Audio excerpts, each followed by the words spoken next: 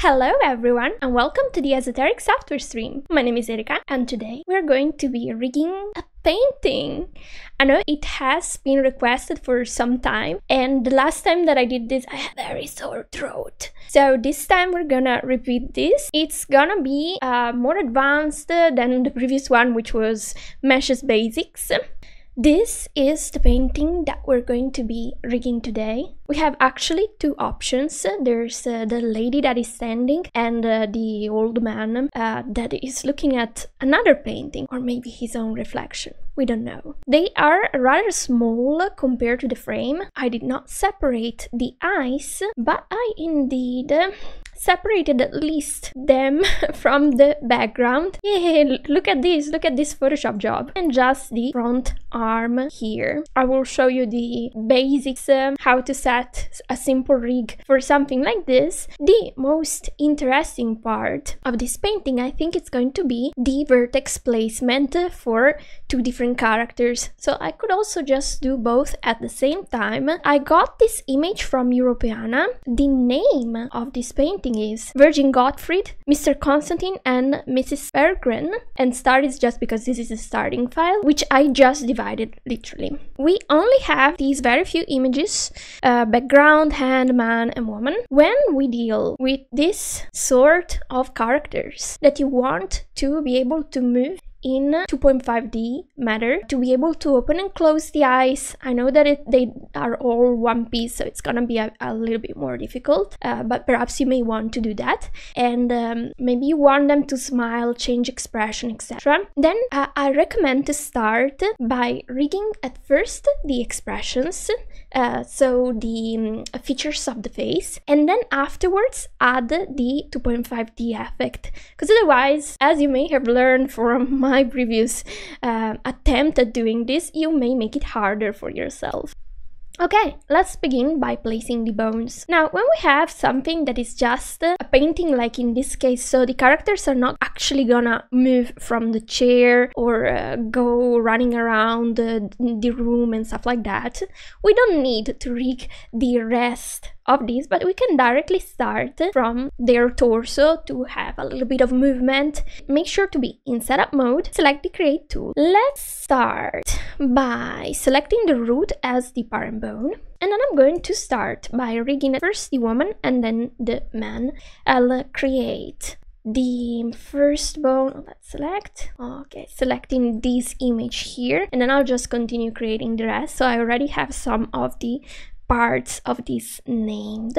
Okay, I will start more or less from the middle of these here, maybe like this, because she is leaning in that direction. From here, I can already create the bones on the face. So that will be the neck, head. Then I'm gonna have a control in the middle of the eyes that will be the face holder uh, then i'm going to add another bone on the tip of the nose which is going to be the mm, face control, which we are going to use to control the rotation of the face, and another one in the back, maybe here, to also control the back of the face. Then I reselect this one. I'm going to create a bone in the middle for the lips and then one on each side. Then on the eyes, I'm going to start from the external part inwards. So from here inwards, one end to the other and the same on the opposite side. Then for the eyes, if you separated your parts well, you may also have a bone for the pupils. In this case we don't, so I'm just gonna keep it uh, with just two controls to make the eyelids open and close. Null bones, so just clicking like this, and then on the other side like this. These are all the bones that I need for the face. I'm gonna continue on the shoulders. I like to have these bones so that I can make this sort of movement with the characters. I may also add more 3Dness by adding that those bones. So in theory it would go here, but it feels like it's too high given that we don't really have this part separate. So I could actually just have a bone here and therefore another bone as the parent around here. Not super correct, but this could be lower, this is not centered. It's because of the posture. Feels more correct like this. Even though you have to remember that this is a, a 2D image. And so the bones don't have to be like anatomically correct. They can also just refer to what you're seeing in front of you. which is a big difference from using 3D instead. So I could have this lower even though it's not really correct and it would still work inside the spine because it's a 2D image. I'll add this so that then I can have it point here and have the arm anchored to the man. Here it's a bit easier. I have to imagine like a, a, circle, go for the middle of that circle, and then I can have this. I could actually use a missing link in this case, I think. So instead of having this bone, I'm gonna skip it I already explained the missing link technique in uh, a video with the same uh, title in the name, so I think you should watch that if you want in-depth explanation of how that works. So I'm gonna delete those bones, and instead I'm gonna connect this all using just a mesh so that it connects uh, to whatever is going to be controlling this area. For the same reason then, I'm gonna delete these bones, and I'm simply going to weight this part so it stays anchored to our character without having a bone at all. Just just gonna have these so maybe it can rotate a little bit. Could even have one here then like this so it can rotate a little bit and this part is gonna stay connected. Then uh, I'll uh, at first uh, create all of the bones and then I'll make them neat. Okay I think I'm gonna start from here. I'm going to use the same structure as the other. I can also have something to control the arm. There is no backhand. Now let's do some renaming.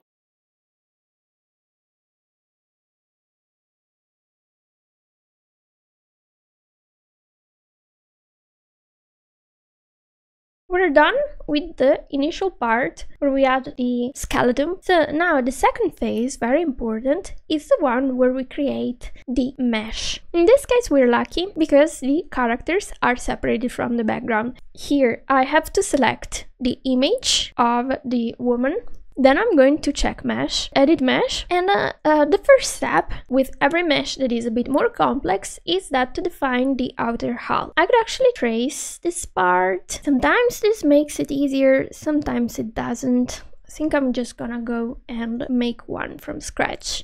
Okay, so I will start from one of the corners. I'll just go around the body to separate this part. Then I'm going to create a vertex every time I expect these parts of the body to be able to bend and deform. Then I will go, I think, close to the hand. I want to have a bit more control around the hand. But I'm going to encapsulate very simply this area here. Then I'll go up.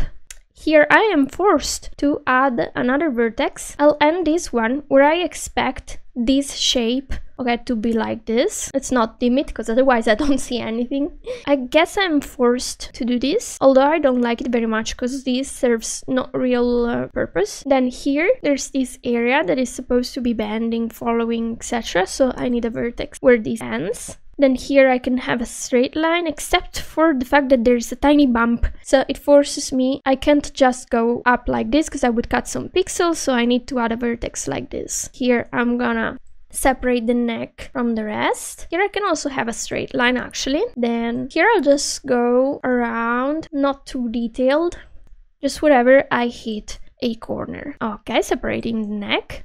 And again, I go down the shoulder. This I think is where it ends. So I think I can go down like this. Alright, this was the outer hull.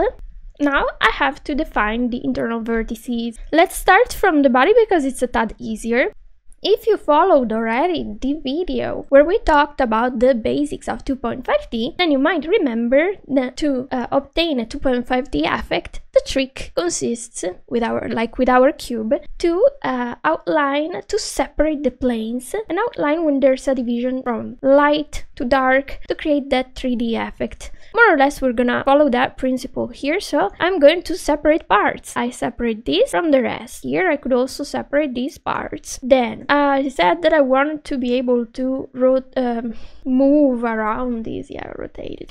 Like this, I think. This is going to separate this area and here I need a straight edge to represent one side and the other side. Actually, if I look better at the shadows that I have here, okay, this is where the darker part is and this is the lighter part. If you're in doubt, always look at the image itself as the image will give you all the hints that you need to be able to do this. I could add a vertex here and make sure to connect these like this because it's separating again one side from another could potentially work. I usually also add another vertex here so that the arm is separated from the rest. I think this is gonna work. I could maybe add another one here, but I'm not sure that I'm gonna use it. So for now, I'll leave it simpler. Then for the chest part, the separation from light to dark ends around here, here, again, here we have the top part of these. Could even add a vertex here. Okay, see how it wraps nicely around the body? And here I'm going to add a vertex to separate again light from dark. Let's also separate the neck from the rest. Okay, for the neck I like to add a little bit more detail because this part actually this part is not gonna rotate it's gonna stay fixed i think that actually the jewel is also not gonna move so i'll move slightly up Ah, the difficult part, the face. What do we do with the face? My recommendation is first separate the parts and then we define them. So at first we need to separate the hair from the face and the face from the neck. Okay, let's start with the hair because it's a tad easier. So here a vertex, here another, here, here, here, and here. And with that we separated the hairline. For the lower part, okay, that's a little bit difficult. You have to use the eyes of your imagination to be able to do this. So I think that the jaw is gonna end somewhere around here because it's logical, but I'm kind of winging it. I can't be certain. Okay, the earring, I think I'm gonna separate like this. Okay, for now, I'll keep it simple, I'll keep it like this. Once we separated this, for the hair, I recommend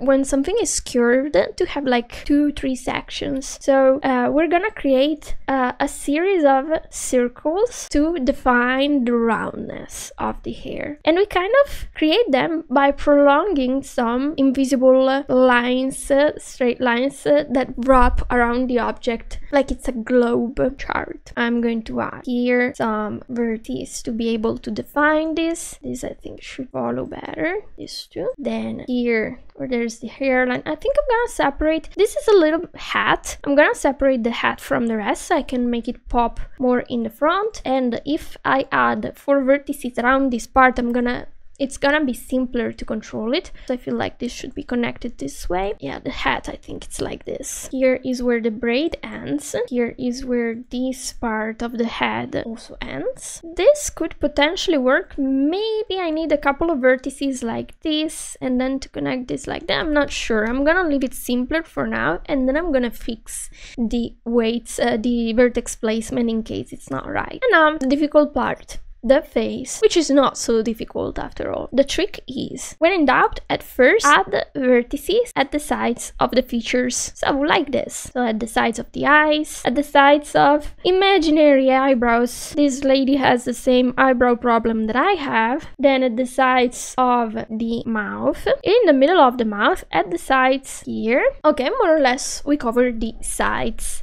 Then everything that we have here, we have to split into three more parts because the eyes are round like this. And to simulate something that is round, we need three sections. So one, uh, I'll make it evident. One, two, three sections. Okay, so one, two, and three. Usually a short trick to get it right is to uh, enclose, encapsulate the iris. That usually works really nicely, especially with paintings when they have realistic proportions. So we do something like this, voila. Okay, when we see something that should, like this fold here, the fold should have a line, but it, the line goes in the opposite direction, we can click and drag to create the right flow of connection for the vertices so that these connect how we prefer them. For the eyebrows, I like to create sections like this that prolong, that continue these lines. So can you see the line that goes around this? Couple more. This part is shorter because of the perspective so it can also have less vertices. Then, uh, look at these nice lines that we have. It's the eye socket, thank you Fabiano. And uh, we also do the same here. So here was very marked, which made it easy to identify. In this case, we have to rely on where the rosy cheeks end and more or less at the same height as this to kind of imagine where it's supposed to be. And we also add another one here, okay, to complete this eye socket shape. I think around here. I, I should definitely separate this part so that the eye does not connect with the hair. For the nose, we sort of want to have the tip of the nose defined, let's say with four vertices, something like this, which usually looks nice. Then we can have a couple more vertices here to define the bridge of the nose. Then here, sometimes people have creases. Ah, this man has them, so it's darker here. And they usually it does not hurt to add She's very calm. She, she does not have any line of expression. For this forehead, okay, with her, it's a tad harder to see, but okay, with him, it's a little bit easier. So see that there's usually the little, um, we can divide this in three sections, and then there's the first section here that ends around here, which is like um, one third of the entire height, where we want to create a belt of vertices, and then another one here so basically we divide the forehead into three parts vertically, continuing the lines that we started here. So if I were to, oh, here you can see that the light ends around where that part stops. I love classical paintings for this because they make it very evident. So I'll be creating here the vertices to continue those lines. When your character is front facing, you will have more or less the same number of vertices. When one side of the character is shorter, as I said earlier for the eyebrows, we may have less vertices since the vertices don't appear like underneath there is not gonna be an extra image to see we can leave it as it is. Okay, then here I'm going to continue this. I need to force this line. Uh, where is the middle? The middle is here. I could continue it this way. Okay, this may work. So we have three sections, one, two, three, and then vertically, more or less, also something here. I have one vertex here, and then I don't have it here, but I think I'm gonna leave, even if I don't add that vertex. So for now, I'm gonna try not to add that. Okay, then let's define a bit better the lips. For the lips, I recommend to also mark the internal line because it's kind of going inside compared to the uh, lips that instead pout a little bit outside.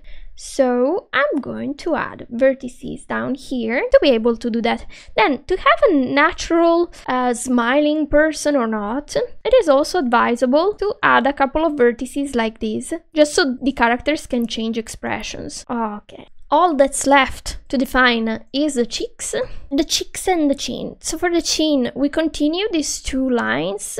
Mm, I think I'm gonna need another vertex here because there's the part that is attached to the face and the part that is more um, detached instead and that should be closer to us and it looks like because of the tilt of the face those two parts overlap a little bit so I'm adding some two very close vertices for that reason. So I was saying about the chin that we continue those lines. It may look like this. Let me force some orange lines so I have those nice parallel lines that I need. For the cheeks. Okay, when the characters are old, it's very simple because we just follow the marks of age. So here we see that there's this line, we have to interrupt it. Where do we interrupt it? Here. Voila, perfect. And it follows the cheek lines very nicely. I'm gonna add another one here so that it also curves with it and it kind of follows the jaw shape. Then on the other side, I'm gonna use the same logic. There's this that connects with the end of the um, ear. I'm gonna interrupt this line like this. And then I add another one here at the end where there's the crease that end. And um, this area should be more or less done. Okay, maybe I add another one here so it follows a little bit better. Then for the puffy parts of the cheeks. Okay, I'm gonna look at first at where the lightened area is. So it kind of ends like this, I think, because we have to understand how this is curving and the parts that reflect the lights and the parts that don't. It seems like this person has some parts that are kind of end here, kind of also uh, do this, and then maybe this is connected this way, but no, it feels like it's wrong. I think like I have to add a vertex like this complete split this to follow the folds of the face. So I think I'm gonna end it this way. Also, notice how this is continuing these lines, these lines. Could have added like maybe, no, that's wrong. Yeah, this may work. Then here, I'm gonna have something similar. We also follow the variation from light to dark. Look at this. I think I'm gonna get this to match a little bit better with the lights. So here we have the part that is the darkest. Here it has a bit more light. We separate those planes then I'll be creating here at the end of this cheekbone. This perhaps like this it's enough. Notice how how many sections are there for the cheek? One two three. Okay so that's gonna be my mesh for the face. Can you see the structure? Can you see how it kind of flows nicely? And where it is not flowing that nicely we can adjust it a little bit. I think I like this way. Uh, until it flows nicely. Oh this sort of has like a circle. Never noticed that. Cool. So uh, you see more or less how this works. Um, now I am going to repeat the process on a more difficult angle, which is on the man. So meshes, edit mesh. Can we attempt tracing? Is tracing going to work? I am going to roll with it. I'm just gonna remove maybe a couple of vertices. Once again, let's start easy. We separate maybe the white part of the man. Then here we separate the neck like this from the rest so that the character can move the head a little bit. Okay, that's fine. Maybe I'll just add a vertex here so I can better get only this area to move. Or maybe, I don't know if it'd be like this. No, I'm gonna leave it as it is. Alright, let's focus on the head. Higher difficulty because we see less of the details, so we have to imagine them, but we know the basics from the first version. I'm going to create, separated first these parts of the face, and I think it is very not defined in this case, so I'm just gonna follow the beard, if you can call it a beard, ear. Mm-hmm. I think I'm gonna go with this. Important part is that we separate the hair from the uh, face. And we kind of did that. Let's do again the trick of at first we place the vertices at the sides of the facial features. Okay what do we do with the nose? With the nose i recommend doing something like this where we separate the nose from the cheek. You don't need to have the orange lines. It's just for me so i can show you better how this is going to work. Okay so we have the part of the nose that is the closest to us which could probably okay be exactly where it starts changing from light to dark i think i'm gonna add add one vertex here in the middle where it starts, the darker part here starts. Oh, he's wearing glasses. Can you see the glasses? You kind of have to imagine the glasses too. But we're gonna use this to help us. Okay, let's not curve this part. I'm gonna do this to preserve it. And I'm going to separate the eyebrows already in three parts. Okay, here, let's continue. Okay, one, two, three, one, two, three. That's done. For the eye, once again I split this going around those four pixels that represent the eye. Remember that she had very deep eye sockets. In this case, we have a much smaller area. We're gonna follow where the light and dark ends. So always follow the drawing. It's like number one rule. Maybe I'll add another vertex here because this is like the peak of the nostril, like this. Then we define the lips. He is. Do you think he's smiling? It kind of looks like he is. I wonder what they're looking at. Maybe pictures of their dog or their daughter having a vacation somewhere. Or I don't know. I'm maybe trying to skip this because it's a couple of pixels and I don't think it's gonna add much. I'll aim this vertex at the end of this crease. Then, because this crease is so intense, I could even define it this way. See? So it's kind of separating the planes of the puffiness of the cheeks like this. Here we kind of continue these. I'm not sure it is worth to add stuff here, so I'll maybe go back and add more definition if it's needed, but for now I'll leave it as it is. I'll do that thing of marking the end. Ah, I already marked this. So in theory it should join around here. Probably I would split it around here. Okay, now I have to separate the area that is the closest to us. So one side of it, which may be around here. Oh, look, there's a tiny crease also here. It may end maybe around, uh, I'm not sure this is complicated because I don't have much information. Okay, sometimes when I'm not sure about what is happening, I imagine the characters crying. And when they cry, they kind of also have the lines that go down and continue.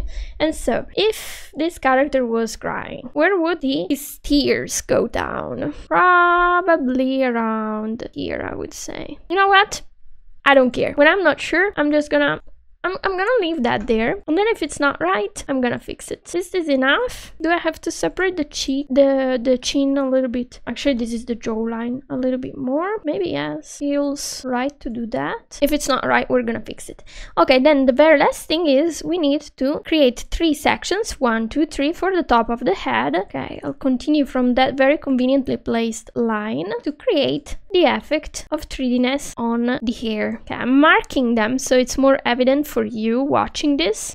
And now let's look at also these mesh. Let's dim it. I feel like I could have done a better job around here. Usually I get them at the same height, but it's also following the shape of his face. So I think it's also alright to have it this way. Now we're ready for phase three so here i have this mesh i'm gonna bind all of the bones that overlap this mesh and that are supposed to control this mesh so these these these and all of them. I should also bind the root to anchor the bottom in place. Then I'm gonna do the same on here Ah, I did not create the mesh for these. I forgot. Let's do it now. Mesh, edit mesh, trace. Woohoo, I forgot one. I'm gonna accept it and then remove all the extra vertices that are not necessary, which are actually many. I'm not sure I'm gonna be able to move these a lot. But I can still define this part so it has an angle like this. Then I'm gonna separate the hand parts. To have a 3Dness effect, I should add here, but it's actually all dark, so maybe it's not necessary. Here so it can fold. Here it's useful to have this so it can stay attached uh, and rotate a little bit. And that could be it. I'll bind also this part all of the parts of the face. Alright, so now they are bound. I'm going to have some test animations. They are not gonna have the 3D effect for now. I'll um, select the weights tool. Okay, the weights more or less were already automatically calculated. I sort of wanted to anchor this part. I may need to add a bone to control this side of uh, the painting. I think I'm gonna add that bone. I'm gonna add it under the root here. I'll call this painting side. Makes perfect sense. I'm gonna bind this one here. Bind, perfect. And also bind it bind here one two three four and five and save i'll just reorganize a little bit the bones here so they have a more correct order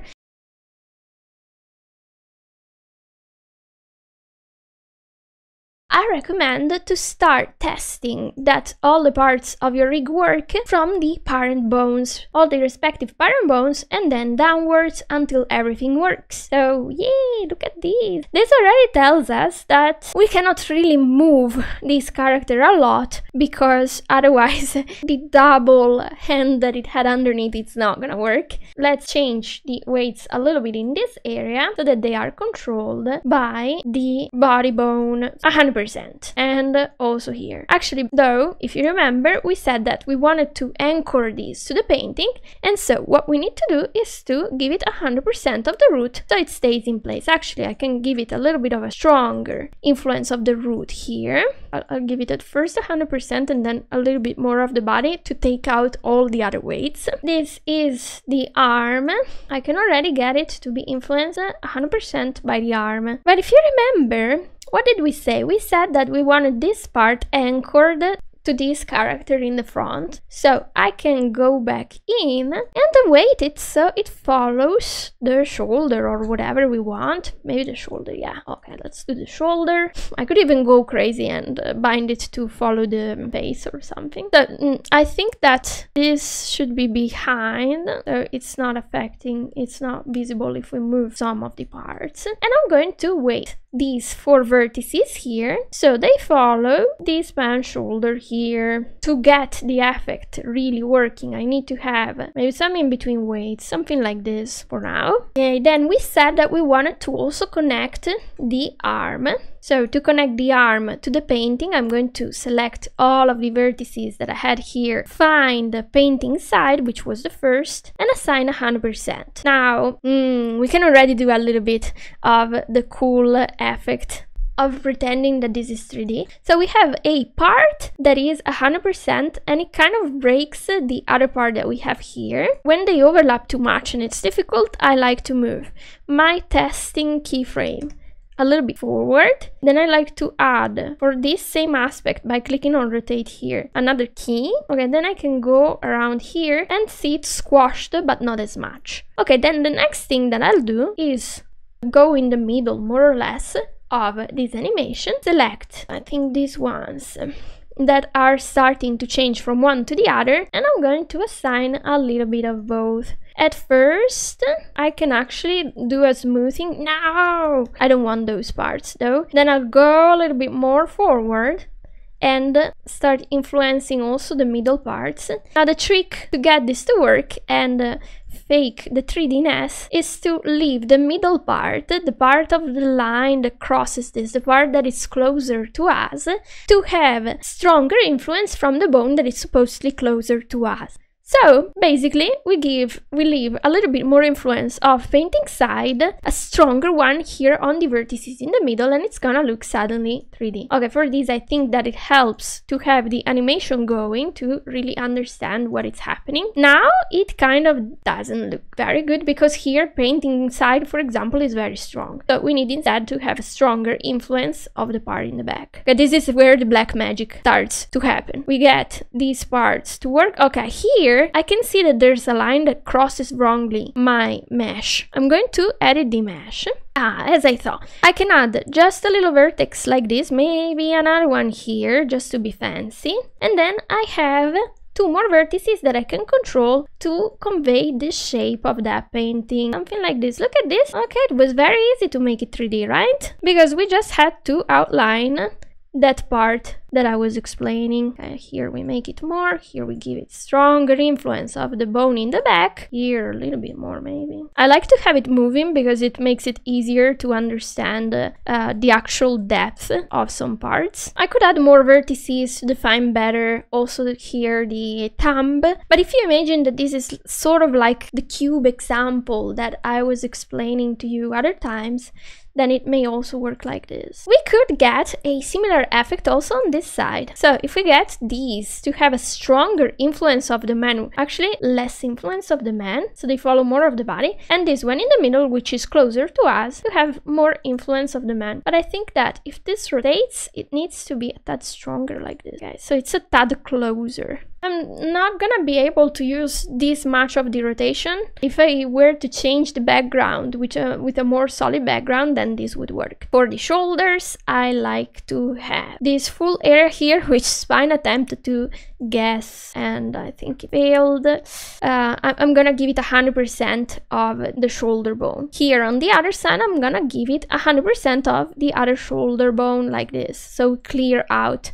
Actually, I think I'm gonna, in general, prune some of the useless weights. Anything that is influencing less than 5%, maybe 3%, okay, is gonna be deleted. So it's not causing problems anymore. I'm gonna get this whole area to be influenced, I think for now, to the body. Body, body, body, body, body. Where is the body? Okay, here. Then we said that we kind of wanted her to breathe. I think I'm gonna delete this sideways thing because it's not necessary anymore. And maybe I'll make her breathe in instead so I'll move these I don't know up and down to simulate the breathing.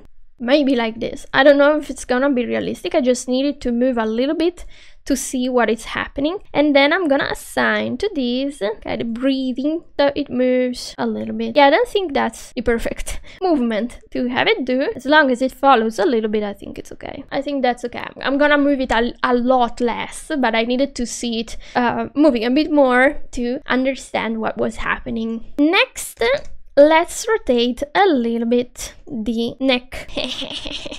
I love doing this. Okay, so for this, as you can see, this whole area should not be following the body, but it should follow what? Are we assigning neck weights? The neck is only there to help us rotate parts. I'm gonna select all of these vertices and assign to them.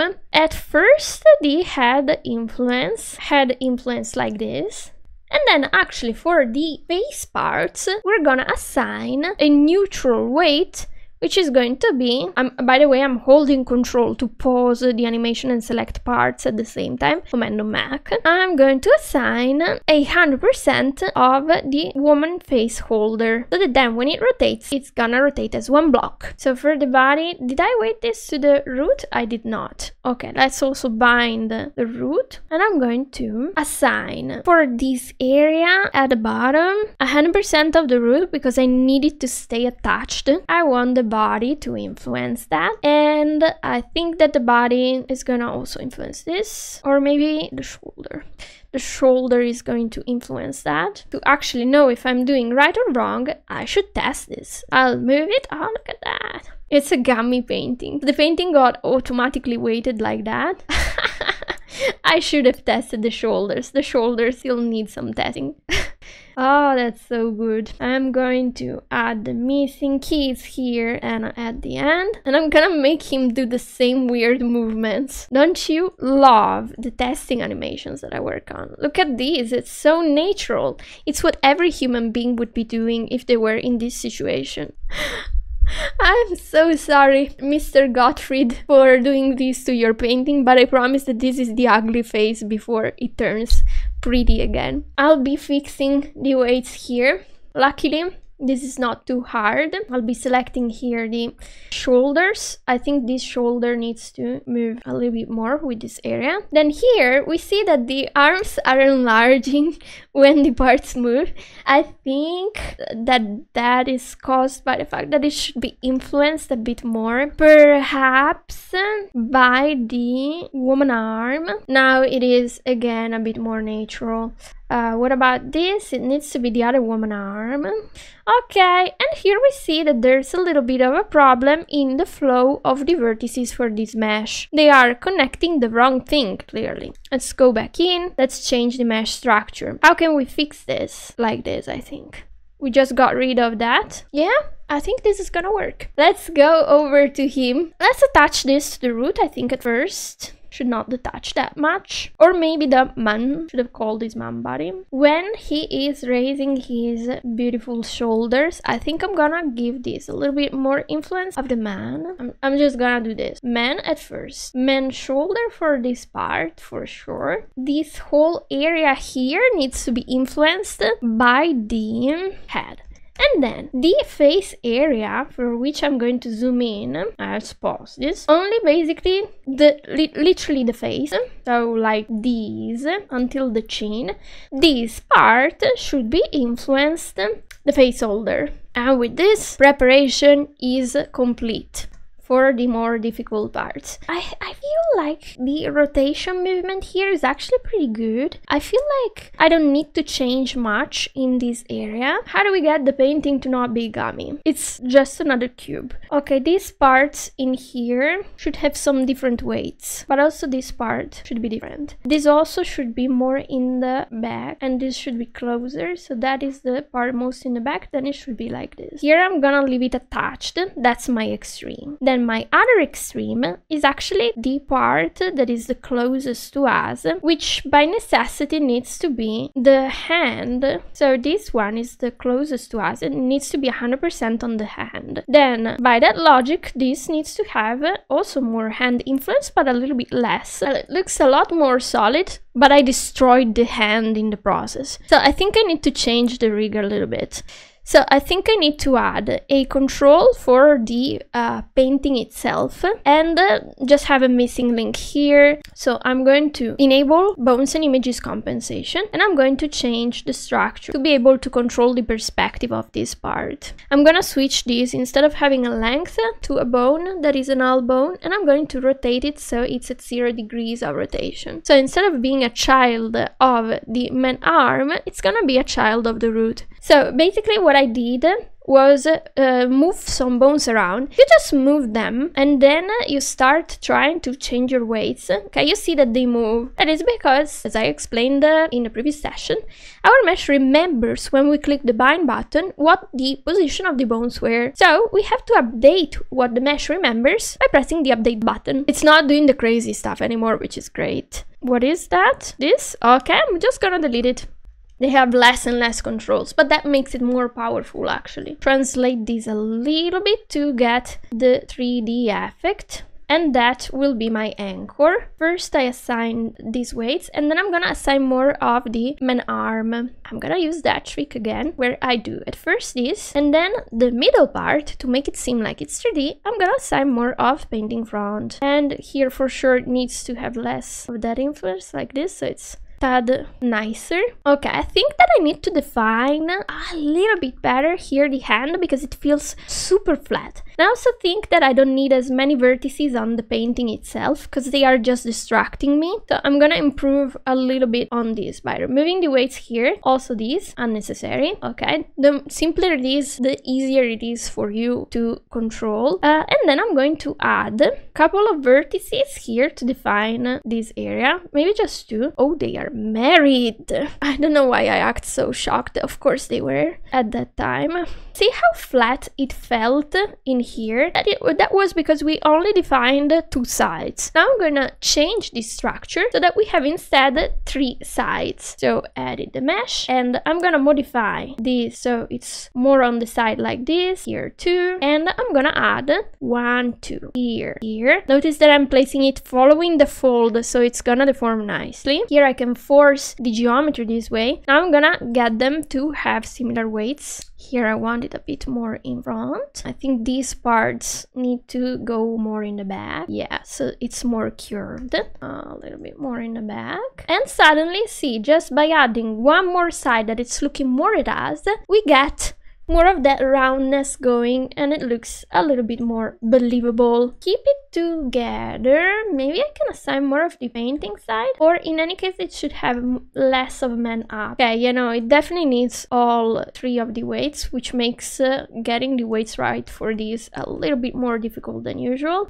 we kind of have to identify all of them. Mm, that this part here deforms, it detaches too much from the painting, so I add more of the back of the painting to it. Then here, to avoid parts detaching, I'm going to add in a block painting side. Probably it could have, in general, less man arm up influence. If I want to push these parts more in the front or in the back, I could do this, and then actually add the man arm up but only a little bit so they don't deform too much that part. Okay i guess that the problem is that uh, this part is touching the painting and so it's correct to have it this way. I need one more vertex for this to work two maybe follow the painting better. Okay so this way i can get this part to be more in the front or the back depending on what i choose. Yeah Okay, I only have one part that liquefies a little bit. This, the edit mesh. I'll get this to be very close. I hope that this is enough. Huh. I want to make sure that these are separated. Okay, let's see now. So, do I need this vertex? Maybe I don't. Let's delete it. Okay, then it should be easier to just remove this. Somewhere along the way, I wrecked the weights. Okay, I did something that I shouldn't have done here. Maybe this is too strong. Maybe this is too strong too. This needs more man arm. Feels like this should be more in the front. And this actually too. And this too. This is more in the front. All of these from these crazy movements that they are doing. I think as the very last thing, I'm going to fix this arm that is detaching from the painting. I'm gonna lock woman arm up so it stays the same and then I'm gonna give it like a block influence here of painting front. And now it is attached. And if I get this I also get a little bit of the perspective. And in the part where it touches the most I'm gonna adjust the weights. Okay now it's good. Now we attach their hands to a painting. They are kind of fighting for that painting. Okay, this is the end of today's session. Next time I will be focusing on just the faces but at least we got the meshes done in this stream. And uh, we also got some very interesting perspective effects on their arms. Something that i would have never imagined that i actually uh, would have done on stream. They are fighting for this painting so much with some void eyes staring at us. I hope you enjoyed this session. See you again next tuesday. Bye bye